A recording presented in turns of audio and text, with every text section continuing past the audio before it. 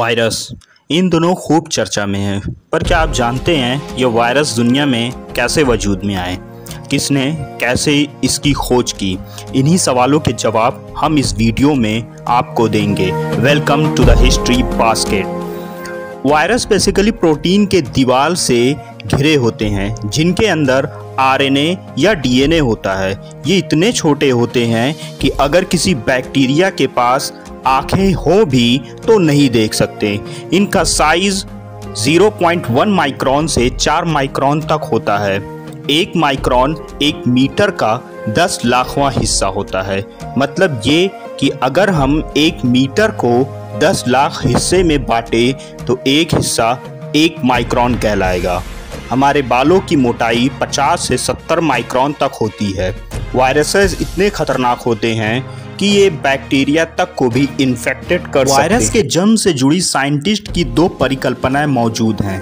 पहला छोटे virus bacteria के सेल कोशिका से जन्मे हैं और दूसरा बड़े वायरस किसी परजीवी कोशिका सेल में मौजूद थे और समय के साथ ये अलग रहकर प्रजनन और रहना सीख लिया। ये तो बात हो गई वायरस कैसे वजूद में आए। अब हम बढ़ते हैं वायरस की खोज की दिलचस्प कहानी की ओर। बात है सन अठारह या उससे पहले की।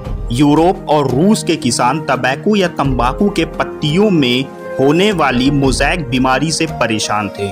इन पत्तियों पर पीले धब्बे आ जाते थे, जिससे उनकी फ़सल खराब हो जाती थी। इस बीमारी पर कई साइंटिस्ट रिसर्च कर रहे थे जिनमें रूसी साइंटिस्ट दिमित्री इवानोस्की ने अठारह सौ बानबे में तंबाकू के मोजैक रोग से संक्रमित पत्ती का रस या अर्क चैम्बरलैंड पास्चर फ़िल्टर में गुजारा। चैम्बरलैंड पास्चर फ़िल्टर एक चीनी मिट्टी का बर्तन होता था, जिसे चार्ल्स चैम्बरलैंड ने ऐसा डिज़ाइन किया था कि फ़िल्टर से गुजारे हुए लिक्विड से उस समय तक ज्ञात सभी तरह के बैक्टीरिया अलग हो जाते थे और प्राप्त लिक्विड इन्फेक्टेड फ्री होता था। तो ज़ाहिर है इवानोस्की द्वारा गुजारे इन्फेक्टेड तंबाकू के पत्ती के रस के साथ ऐसा होना चाहिए था, पर हुआ नहीं। इवानोस्की ने जब फ़िल्टर से गुजारे हुए रस को स्वस्थ पत्ती पर रगड़ा तो स्वस्थ पत्ती भी इन्फेक्टेड हो गई, जिससे यह साफ़ था कि रस में बैक्टीरिया के अलावा कुछ और था। इस पर इवानोस्की ने सुझाव दिया कि इन्फेक्शन बैक्टीरिया द्वारा उत्पन्न एक विष के कारण हो रहा है।